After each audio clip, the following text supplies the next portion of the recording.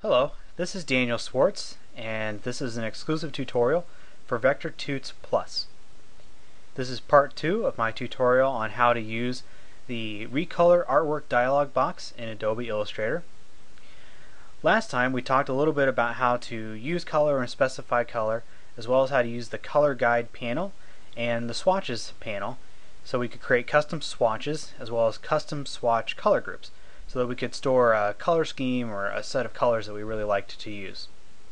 Now we're going to take that and start applying it to recoloring artwork. So first off, I'm going to select these flowers. And you can see the flowers have two colors. There's a gray stroke and a gray interior, and then the individual petals themselves are red. Now, if you select any kind of object or path that only has one color in it, it's not an option to recolor the artwork. It only works if you have two or more colors. But since we do have two colors here, up in our control panel appears the recolor artwork button, which looks like a little color wheel, and you can click on that, and up comes the dialog box.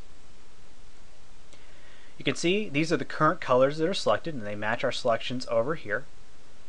You can also see color groups, which are the same color groups which we created or loaded in in our swatches panel and there's some awesome colors that hopefully we'll use later. Additionally, if you click on Edit, there is the color picker circle, and each little circle in here shows a different color out here. So this is the gray, and this is the red. Moving the circles here allows you to change individual colors in a scheme, but you're only changing them on the hue or on their saturation, so where they're at on the spectrum or how intense that color is. Uh, to change brightness and value, you need to use a little slider down here. But let's go back to assign. Maybe the simplest way to uh, recolor artwork is to knock a colored uh, job with several colors down to less colors. So for instance, we have two colors here. Maybe we want to make a one color print out of it. If we click on one, it's going to automatically combine these two colors into this color. Now this is allowing for tints, and so this is a 50% tint of the purest red, which is the top bar, and then the red on the interior stays at 100%. So that's a easy way to look at it. Let's make it a little more complicated, add some more colors in. So by selecting the colors for the flowers and for the vase, I'm going to go back up to recolor artwork, and here we go. And now you can see there are four colors loaded. The teal, a dark teal, uh, the gray, and the red once again.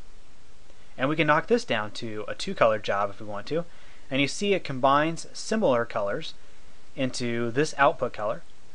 And then the red still stays as red because these are such uh, drastically different ideas. Adobe tries to make a guess of what the best solution would be. If I don't like what it chooses though, I can easily click and drag any of the colors down here and now the red and the dark teal are going to be interpreted as red. And here the light teal and the gray will be the teal color at different tints. That's one of many ways you could kind of fiddle with that. Let's go back and hit cancel. The artwork you know doesn't change if you hit cancel. You can go back up to recolor artwork. Now let's start working with our different swatch groups.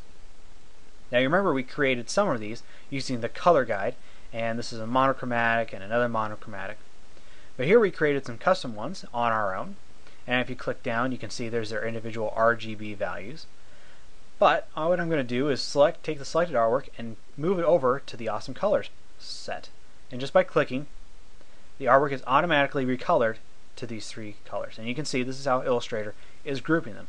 Once again, if I don't like the order, I can switch it up or put it back. Additionally, down here, the first button is a little shuffle to symbol at the bottom. Says randomly change color order. And it's going to change where these are at. So I can start shuffling these up. And you can see a variety of different solutions to using the same color scheme. As well, the second one allows you to randomly change the saturation and brightness. So just how intense the pigment is and how bright the colors are. So by clicking this, now we get the colors stay the same and the, the saturation and brightness change we can reset it if we'd like to. Go back over there and click on that color group again. Now let's say it's almost where we want it to be, but not quite. If we go back over to Edit and see the color picker, you'll see a little icon down here with the unlink harmony colors, or it'll say link if it's unclicked. But if it's together, these things are static in that their relationship to each other is going to stay the same. If I unclick it, then they're independent, and you can see a dotted line also shows you that on the color picker. But for instance, if I take the big one here, I can swing the whole thing around, and you see the relationship stays the same. Likewise, I can shrink them in and lower the saturation or increase the saturation, and they move proportional to each other. We're going to recolor it back over here again by clicking the awesome colors. A little more easily, maybe, is to grab just the hue, and so our saturation stays constant, but we can move things around the color wheel. So maybe we can make things a little more warm, or make them a little cooler if we want to make slight tweaks to how the color is being represented. Similarly, we have the brightness. We can adjust it down and make the whole scheme darker, or we can make the whole scheme lighter. If you don't like working in HSB, and that's perfectly okay, there's the option drop down here, just like in the color panel, where you can select RGB or CMYK lab RGB if those are what you'd like to work in. Okay, well I kind of like these colors, so let's go back and look at something else. I don't really like the color of the table, so an easy solution is just to select both the table and the little uh, cloth there, and I can select awesome colors again, and it's immediately in the same color scheme. So a nice way to reuse those swatch groups that we've created. I'll lock those back down. Now this is okay, but one of the really great things about Recolor is that it works against uh, swatches that contain patterns. So let's go down here and unlock the wall. I'm going to select it and click on this really, really ugly pattern back here that doesn't really fit our color scheme. Well, thank goodness we have Recolor Artwork because we can go back in here and there's the colors being used, uh, teal again and this really awesome pink color. And we're going to choose awesome colors again because that's our scheme and it recolors it. But that's a little hard on the eyes, so we can always switch up to any number of other color groups and maybe find something that works a little bit better. I think this may be our best hit, so I'm going to shuffle their order, change hue, and there we go. Now it's a little bit brighter, go back over to edit, make sure that they're linked. I'm going to brighten the whole thing so the vase really stands out. And I don't need to change any of my color swatch changes uh, by clicking no. The artwork remains recolored though, nothing to worry about. I'm going to go back over here and recolor that vase to darken it up, make it these violets. There, that's pretty good. And once again, you don't need to save your changes. So there we go.